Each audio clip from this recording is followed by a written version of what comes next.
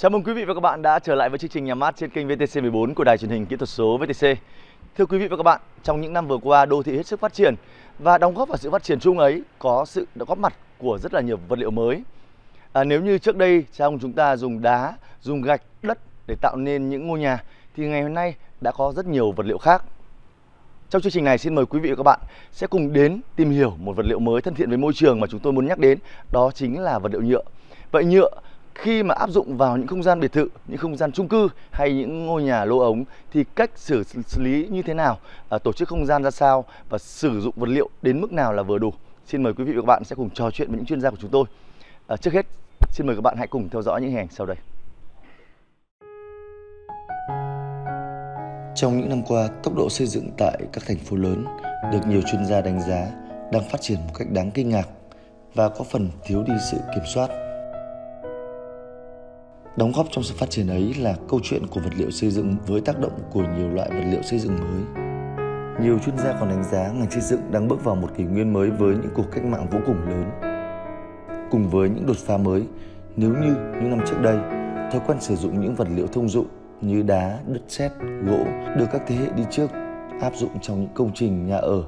từ nhà truyền thống đến những công trình xây dựng mới của đô thị. Thì nay, những ngôi nhà đã mọc lên với sự đóng góp của nhiều vật liệu khác nhau như kính, thép, bê tông, bê tông giả gỗ.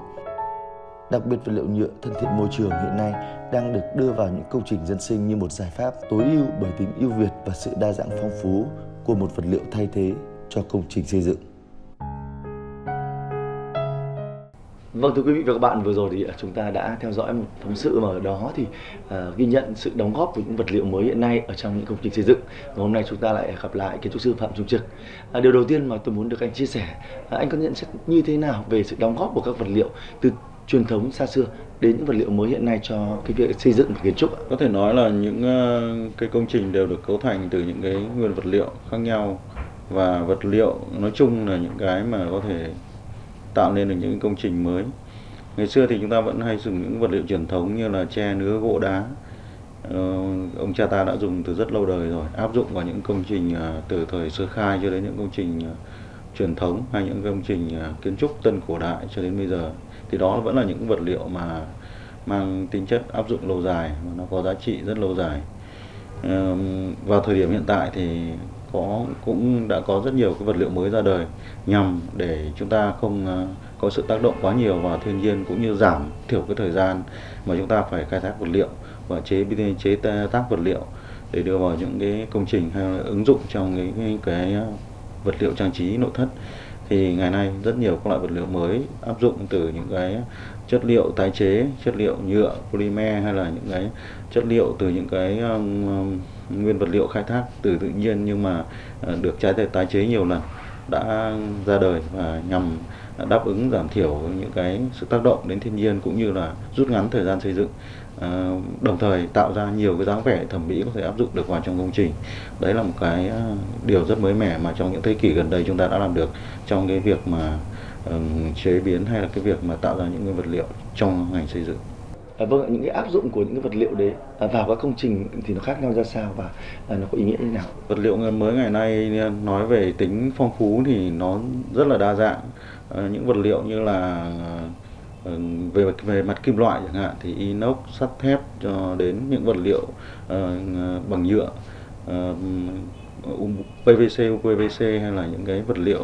uh, trang trí nội thất thì nó có tính đa dạng và tính ứng dụng rất nhiều Ờ, có thể nó đa dạng về mặt hình dạng kích thước nó đa dạng về mặt màu sắc lựa chọn trong cái việc mà cho chúng ta, trang, trang trí thẩm mỹ từ nội thất cho đến ngoại thất công trình. Đó là một cái mà có tính ứng dụng rất lớn đối với những vật liệu mới vào thời điểm hiện tại. Ở trong chương trình này thì chúng ta à, có đặt ra vấn đề là những cái vật liệu nhựa hiện nay à, tác động vào trong công trình kiến trúc trong công trình xây dựng như thế nào? À, anh nhận xét thế nào về vật liệu nhựa hiện nay à, đối với cả à, những cái công trình những cái Ờ, dự án mà anh đã thực hiện nói về vật liệu nhựa thì chúng ta có một cái, những cái thống kê rất là là là rõ ràng. Có thể nói là sau những cái ờ, ngành mặt hàng gia dụng, những cái đồ dùng sử dụng trong cái sinh hoạt hàng ngày, thì vật liệu nhựa là một ờ, trong những vật liệu được ứng dụng. Thứ hai, nhiều thứ hai trong cái ngành xây dựng so với tất cả các ngành khác. Và cái tính đa dạng, cái, những cái Ờ, tính đa dạng những cái ưu điểm đặc biệt của nghề nhựa mà nó được đưa vào trong cái vật liệu xây dựng hay là ứng dụng trong việc xây dựng rất là nhiều. Có thể nói chúng ta gặp vật liệu nhựa ngay từ lúc chúng ta làm những cái ờ, phần hạ tầng của công trình. À, như là chúng ta có thể làm cốt pha làm nền móng hay là làm giàn giáo tất cả những cái ứng dụng ban đầu cho cái hạ tầng cơ sở. Tiếp đến rồi chúng ta có thể dùng trong cái việc trang trí nội ngoại thất của công trình hay là chúng ta có thể làm những cái vật liệu như gạch ốp gạch lát hay nền rồi những cái vật liệu à, trang trí nội thất những cái mảng tường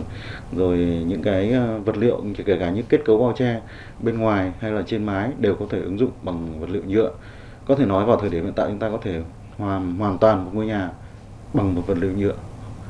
Và những cái vật liệu tương đương được tái chế hay được uh, chế biến từ từ những hạt nhựa. Chúng ta có thể làm hoàn toàn một cái ngôi nhà bằng nhựa như vậy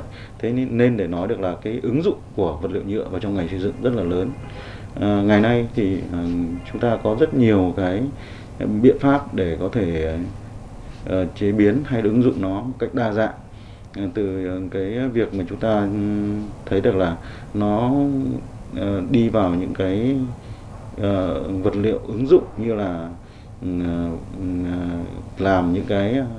vỏ dây điện hay là chúng ta có thể làm những cái đường ống dẫn nước rồi chúng ta có thể à, chế tạo ra những đồ dùng vật dụng nội thất ở trong một công trình. Đó là những cái ứng dụng sâu xa và chi tiết. Thì như thế để thấy được là cái vật liệu nhựa là một cái trong những cái vật liệu mà có tính ứng dụng rất lớn trong ngành xây dựng vào thời điểm hiện tại. Tôi nghĩ rằng là à, cái đóng góp cho môi trường của vật liệu nhựa cũng là một cái điều đáng để chúng ta lưu ý tới chứ ạ. À, nó có có thể là, là một cái à, do cái cách sử dụng của người sử dụng vật liệu mà thôi chứ nhựa nó hoàn toàn là có những cái lợi ích như là kiến trúc sư đã chia sẻ. À, anh nghĩ thế nào về điều này? Chúng ta loại bỏ những cái yếu tố về à, ý thức sử dụng vật liệu nhựa trong à, vào thời điểm hiện tại. Tách riêng ra cái à, vật liệu nhựa chỉ dùng cho xây dựng không thì nó có rất nhiều nhiều cái ưu điểm. Chúng ta hãy khoan nói về cái việc là chúng ta tạo rác thải ra môi trường. Và chúng ta nói là cái vật liệu nhựa này ứng dụng trong xây dựng như thế nào. Ờ, có thể nói được là trước đây chúng ta lấy một cái ví dụ rất đơn giản như ờ, ống nhựa PVC chưa ra đời hay như ống chịu nhiệt chưa ra đời chẳng hạn thì chúng ta phải sử dụng những như ống kẽm ống sắt để chúng ta đưa vào trong công trình sử dụng ờ, làm được ống dẫn nước nước uống rồi nước sinh hoạt. Nhưng mà cái vật liệu đó thì ờ, ngay tại Việt Nam chúng ta thấy những công trình nó chỉ có thể áp dụng được trong vòng khoảng độ 10 20 năm là những cái ống Ờ, kim loại kia đã có những hiện tượng dỉ xét hoặc là nó bị mối mọt rồi và lúc đó thì ờ, nó sẽ gây ra hiệu quả cho mình rất lớn. Từ ngày mà cái vật liệu nhựa ra đời những cái ống nhựa ra đời chẳng hạn thì nó đã uh, giải quyết được cái những cái hậu quả đó và cái tuổi thọ của nó cũng đã kéo dài hơn rất nhiều đồng thời là giảm lại cho cái việc sinh hoạt uh, một cái uh, ứng dụng nó rất là giá trị. Ngoài ra thì uh, có thể nói là vật liệu nhựa, cái tính đa dạng về màu sắc, hay là cái tính ờ, ứng dụng rất lớn trong cái việc trang trí nội ngoại thất mà vật liệu nhựa có thể áp dụng được với các vật liệu khác ờ, và lại tạo cho công trình có một cái ờ, vẻ đẹp nó mang tính tự nhiên. Có thể nói chúng ta thấy bắt gặp rất là nhiều những cái công trình mà Ờ, mang những thảm cỏ nhân tạo ờ, thảm cỏ xanh nhân tạo vào trong công trình ứng dụng. Có thể là từ nền cho đến sàn ờ, cho đến những cái background, những cái trang trí ở các cái cơ quan ban ngành chúng ta thấy, họ tạo những màu xanh bằng thảm cỏ nhựa. Rồi những cái viên gạch nhựa trang trí cho những cái ban công những cái lối đi, tạo nên một cái màu xanh, hay là tạo nên một cái sự kết hợp giữa vật liệu nhựa với lại những cái cảnh quan môi trường làm cho nó uh, có một cái sự gần gũi. Ờ, đó là những cái mà ứng dụng mà vật liệu nhựa trong xây dựng đã mang lại cái gì đấy nó gần gũi với thiên nhiên hoặc nó kéo cái cuộc sống của con người lại ờ, một cách mà chúng ta không không để ý. Đôi khi chúng ta cứ mặc cảm à nhựa thải ra môi trường hay là là là nó là một cái xấu rồi. Nhưng mà nếu tách riêng ra cái vật liệu nhựa ứng dụng cho xây dựng thì tôi nghĩ nó có rất nhiều giá trị. Đặc biệt là trong những cái thống kê mới chẳng hạn thì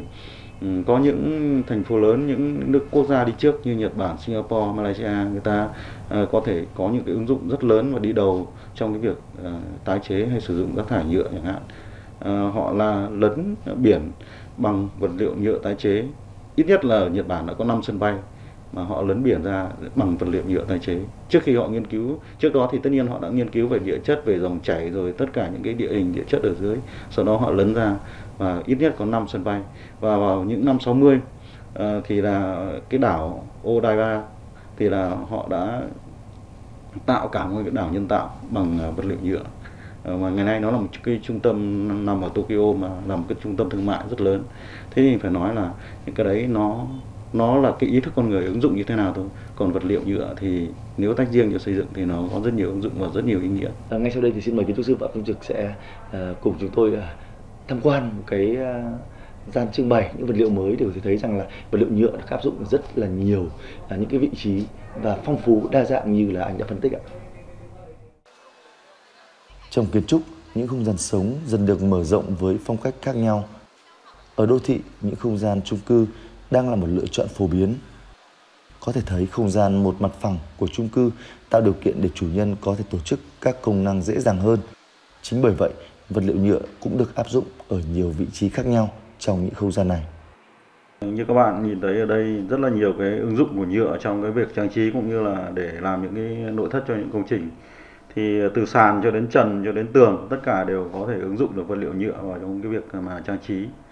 Thì à, vật liệu nhựa nó có những ưu điểm nó là tính áp dụng một cách đa dạng.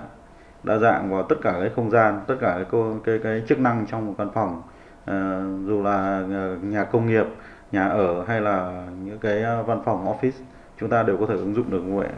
nhựa nhựa như thế này. Đây là sàn này rồi những tấm ốp tường này rồi trang trí cảnh quan hoặc là uh, có thể là cả vật liệu là mái lợp nữa uh, vật liệu kết cấu bao che nữa. Thì đấy là cái mà tính ứng dụng rất là đa dạng. Mà chúng ta có thể lựa chọn các cái độ dày khác nhau chúng ta có thể lựa chọn màu sắc khác nhau tính ứng dụng khác nhau. Ví dụ như là vật liệu cứng vật liệu mềm hoặc là vật liệu xốp đều có thể cấu tạo từ à, vật liệu nhựa. Thì đấy là cái mà tính rất là đa dạng. Tuy nhiên thì à, vật liệu nhựa nó có một số những cái nhược điểm của nó. Ví dụ như là cái một số cái vật liệu mà nó không có phụ gia để mà mà mà đảm bảo cái hỗn hợp tốt thì nó rất là dễ uh, bám cháy tức là vật liệu dễ rất là dễ bắt cháy. Thứ hai nữa là chính vì cái tính ứng dụng đa dạng cũng như những hạt nhựa thì nó có tính mềm dẻo cho nên là cái bề mặt của nó là có thể khi chúng ta dùng những vật ừ, liệu sắc nhọn hay là nặng chẳng hạn thì nó có thể biến dạng hoặc nó bị chảy xước. Thì có thể trong những cái căn phòng mà chúng ta ờ, không di chuyển những đồ vật ờ, nặng nhọc nhiều thì ờ, chúng ta có thể sử dụng những cái vật liệu sàn nhựa hoặc là những cái tác động lực nó không mạnh thì chúng ta có thể sử dụng vật liệu nhựa. À, vật liệu nhựa thì cái tính ờ, chịu ờ, chịu uốn thì tốt, nhưng mà có thể là chịu nén thì sẽ kém hơn. Đặc biệt là những cái vật liệu nhựa ở dạng nhựa cứng, khi chúng ta động động những cái lực mà nó lớn thì nó có thể ờ, biến dạng hoặc bị gãy, vỡ. Đấy là những cái mà chúng ta khi đưa vật liệu vào nhựa ứng dụng vào trong nội thất, chúng ta cũng phải có những cái lưu ý như vậy. Ừ, đặc biệt là những cái không gian mà ví dụ như bếp, phòng khách rồi những không gian chung, chúng ta di chuyển nhiều hoặc là chúng ta phải kê những cái đồ đạc rồi chúng ta phải lôi kéo thì chúng ta có thể nghiên cứu sử dụng loại vật liệu nhựa cứng uh, sàn gỗ nhựa đồng cứng hoặc là còn những cái vật ờ, liệu uh, sàn mềm thì chúng ta áp dụng cho những cái uh, sân tập những cái uh, sân tập thể thao những sàn nhựa ngoài trời như các bể bơi nhà tắm thì chúng ta có thể sử dụng vật liệu nhựa nó mềm. À, như vậy thì à, để nói rằng là cái tính ứng dụng của nhựa rất là đa dạng nhưng mà khi chúng ta lựa chọn đưa vào không gian thì chúng ta cần một cái sự ờ, lựa chọn kỹ càng phân tích kỹ càng và có cái sự tư vấn của các nhà chuyên môn thì khi đấy đưa vào những cái không gian sử dụng nó mới phát huy được hết cái tính năng hiệu quả của vật liệu nhựa những không gian sống mở được xây dựng nên bởi những vật liệu mới luôn là mong ước của nhiều chủ nhân không gian sống. Vật liệu nhựa hiện nay được áp dụng ở khá nhiều không gian khác nhau. Có thể kể đến như những công trình công cộng như cò nhựa được áp dụng cho những sân vận động, cho những khu trang trí. Tấm lát sàn nhựa dùng cho công trình thể thao, tấm ốp nhựa dùng để ốp vách, tấm lát sàn cho bệnh viện, phòng thí nghiệm, khách sạn hay những khu vui chơi. Sự đa dạng và phong phú về công năng màu sắc được các chuyên gia áp dụng khi đưa vật liệu nhựa vào sử dụng trong những công trình là điều đáng ghi nhận. Đối với các vật liệu nhựa ở ừ, trong thời điểm hiện nay thì là nó đã thay thế rất nhiều những cái sản phẩm gỗ hiện tại vì ờ, giá cả và mẫu mã hình thức đa dạng và phong phú. Đó do đó là vật liệu nhựa ừ, dân sinh thì đang ờ, rất là phát triển. Đó, thì ờ, đối với vật liệu nhựa ừ, trong nhà thì có ừ, vật liệu làm cho sàn nhà ờ, các tấm ốp tường các tấm ốp trần lam sóng phục vụ cho các công trình nội thất đối với các vật liệu nhựa ngoài trời thì có các vật liệu sàn nhựa và, và các vật liệu um, về thanh nhựa, các hàng rào nhựa và các tấm um, đa năng để phục vụ cho công trình ngoài trời. Đó thì đấy là những cái vật liệu nhựa mà đang rất phổ biến hiện nay để trong các công trình xây dựng trong nhà và ngoài trời. Đó. Bên cạnh đó thì vật liệu nhựa thì còn có rất nhiều các vật liệu nhựa khác như là các công trình thể thao, đó, cỏ nhân tạo, sân ờ, đa năng, sân chơi phục vụ cho các công trình của trường học, ờ, các công trình ờ, vui chơi ngoài trời. Đối với vật liệu nhựa thì ưu điểm của nó là về tính thẩm mỹ cao hơn so với các vật liệu khác. Liệu nhựa thì về màu sắc, hình dáng rất là phong phú. Cụ thể như là sàn nhựa thì có thể có đến 12 đến 15 màu khác nhau nhưng mà tuy nhiên thì đối với sàn gỗ thì nó chỉ có một số cái màu mà thông dụng thôi. Đó đó là ưu điểm của sàn nhựa. Và các tấm ờ, ốp nhựa tấm lam sóng có thể giả được tất cả các loại màu từ vân vải vân đá vân gỗ ờ, vân bê tông vân xi măng tất cả các loại vân đều đều, đều, đều có được nhựa giả gỗ được nhựa giả đá. Do đó thì ờ, cái tính phong phú của cái tấm ốp nhựa nó rất là cao đối với cái vật liệu nhựa thì thi công ờ, rất là nhanh gọn và sạch. Đấy, là cái đặc điểm rất là, là, là nổi trội của ờ, của, của cái, về cái sản phẩm nhựa. Và ví dụ như thi công sàn nhựa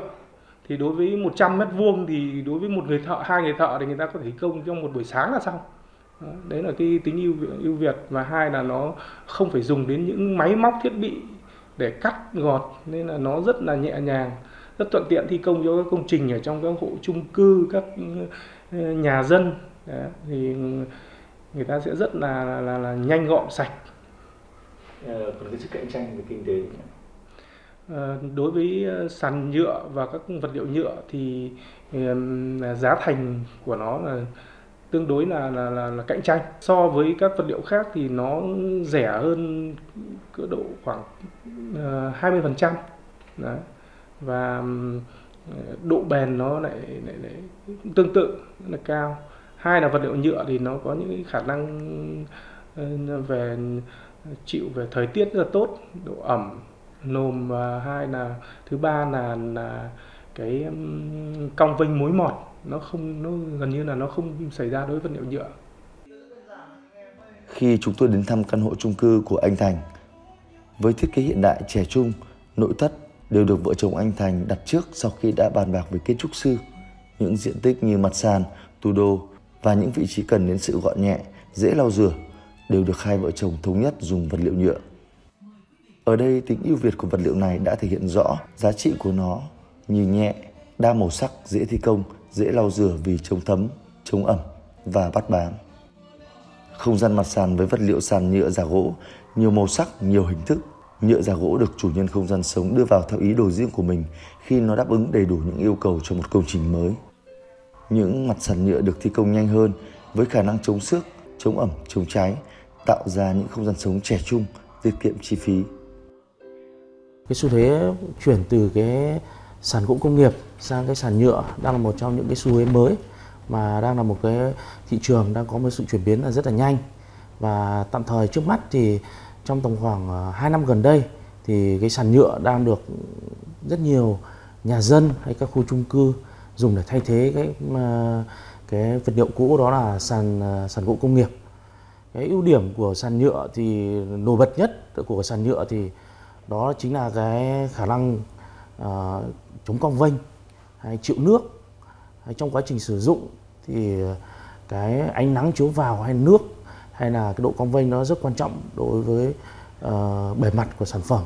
mà khi mà cái đều những cái khả năng đấy đó đối với sàn nhựa nó khắc phục so với sàn gỗ công nghiệp từ trước nay thì nó tốt hơn rất nhiều. Nói về sàn nhựa thì cái độ bền của nó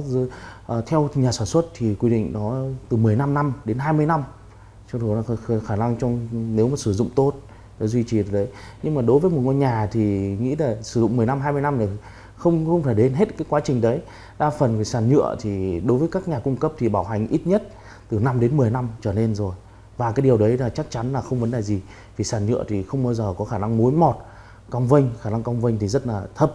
nên độ bền nó rất là cao. Còn về độ dày của nó thì tùy theo cái yêu cầu chất lượng khác nhau. Ví dụ như là độ dày mà càng nếu mà gia chủ mà bỏ một số lượng tiền nó cao hơn chi phí nó cao hơn thì dùng sàn càng dày thì độ bền nó càng cao. Và một đối với sàn nhựa thì nó có hai cái đặc điểm mà quan trọng nhất đó chính là độ dày của sàn và thứ hai là độ phủ của lớp phim ở trên bề mặt. Nó đánh giá đến chất lượng của sản phẩm sàn nhựa nó như thế nào. Nó đang dần thay thế với những giá thành thì rất là hợp lý. Với nó cũng chia rất nhiều ra rất, rất là nhiều các mức giá khác nhau nhưng để với mức đầu tư ban đầu thì so với sàn gỗ tự nhiên thì nó phải rẻ hơn từ 2 đến 3 lần. Nói về cái màu sắc của nó thì rất là phong phú theo rất nhiều cái vân màu ví dụ như ờ, uh, như cái vân vân gỗ hay những cái phong cách mới như phong cách hiện đại Bắc Mỹ, châu Âu hay một cái theo thiết kế do những cái công ty thiết kế hay nội thất người ta đưa ra thì đều đáp ứng được hết và màu sắc thì rất là phù hợp với bây giờ theo thời đại mới bây giờ. Hiện nay vật liệu nhựa như các chuyên gia đánh giá đang là một lựa chọn có tính ưu việt cao ngay cả trong việc bảo vệ môi trường, khả năng thích ứng của nó với các phong cách kiến trúc khác nhau, đặc biệt trong một cuộc sống cần đến nhiều sự thay đổi và phát triển như hiện nay. Tính tiện ích, đa năng, giá cả cạnh tranh là điều được nhiều chủ nhà hướng đến. Vâng, vừa rồi thì ờ, anh chị cùng tôi ờ, theo dõi và có thể thấy rằng là vật liệu nhựa bây giờ nó rất là đa dạng, phong phú, nhiều thể loại và À, tôi thì tôi muốn biết được một điều rằng là à, với mỗi phong cách kiến trúc thì cái vật liệu nhựa được áp dụng như thế nào ạ? Đối với ờ, cái ờ, những cái ờ, phong cách mà có thể áp dụng được vật liệu nhựa thì tôi thấy là vào thời điểm tại cũng đã có thể áp dụng được rất là nhiều. Với những cái phong cách hiện đại thì chúng ta dùng những cái uh, sàn nhựa chẳng hạn, nó đa màu sắc thì chúng ta lựa chọn để thay thế sàn gỗ công nghiệp hay sàn gỗ tự nhiên Ờ, với những cái background ờ, những cái vị trí như là điểm nhấn như là phòng khách TV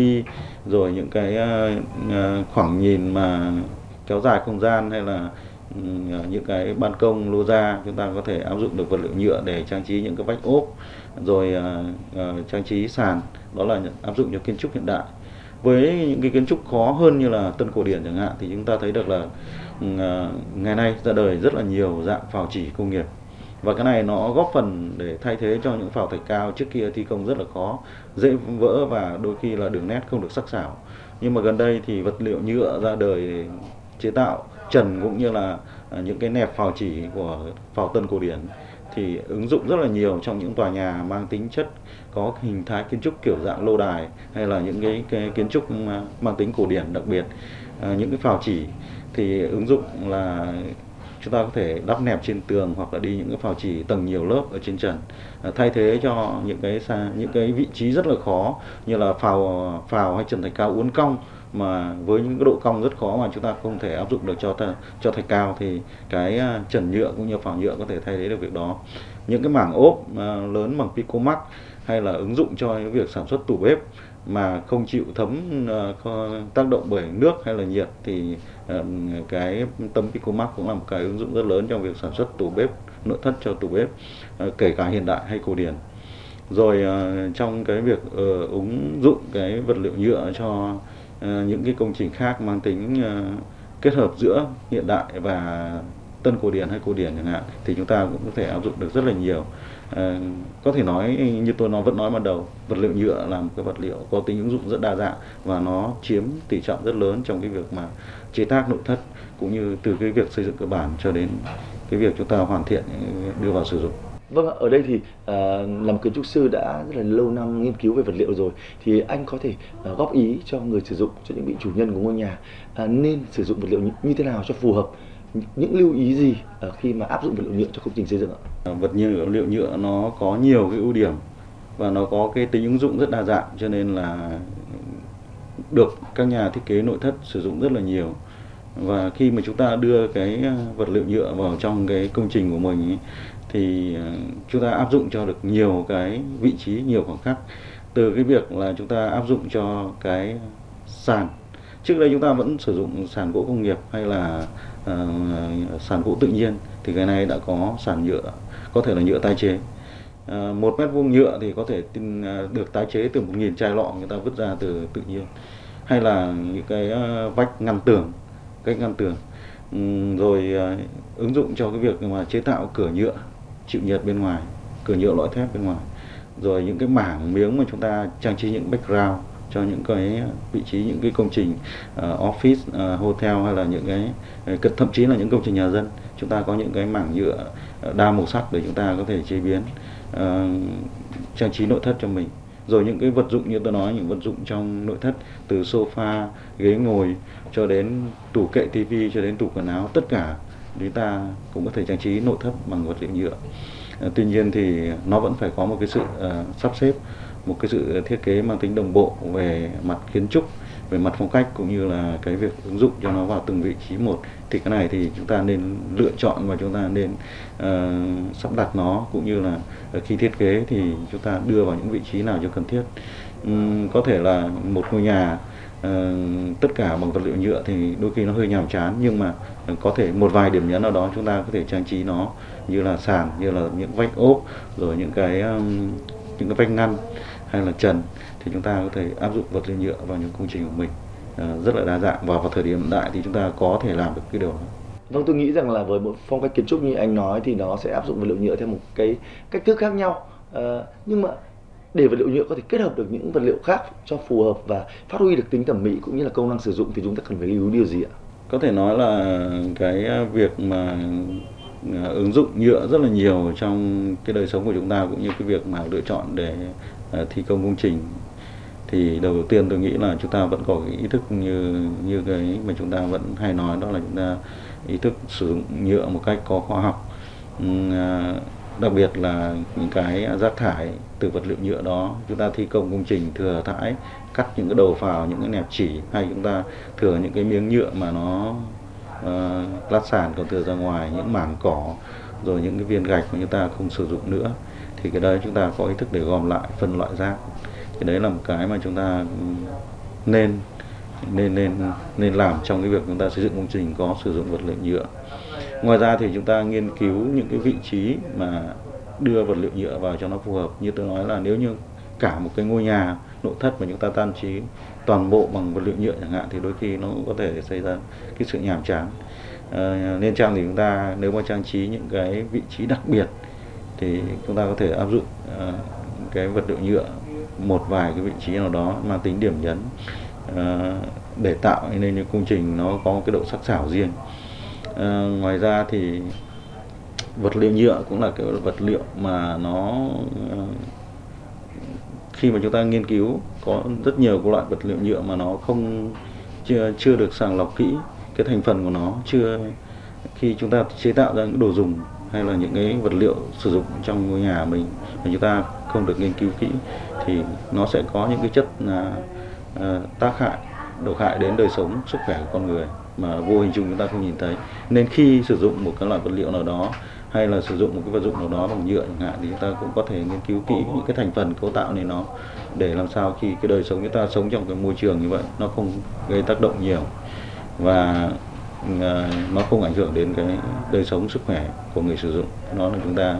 cũng cũng lưu ý trong cuộc sống hàng ngày. Đúng như là kiến trúc sư phạm công trực có chia sẻ thì tôi nghĩ rằng là những công trình mà chúng ta sử dụng vật liệu nhựa phù hợp hài hòa và biết kết hợp với các vật liệu khác một cách nhuần nhụy thì ờ, nó sẽ phát huy hết công năng của nó và sẽ mang lại cho chúng ta những công trình rất là tốt đúng không ạ? À, xin cảm ơn kiến trúc sư phạm trực đã cùng chia sẻ chương trình nhà mát. Và ngay sau đây à, xin mời anh theo dõi cùng chúng tôi những hình ảnh này để kết thúc chương trình nhà mát hôm nay.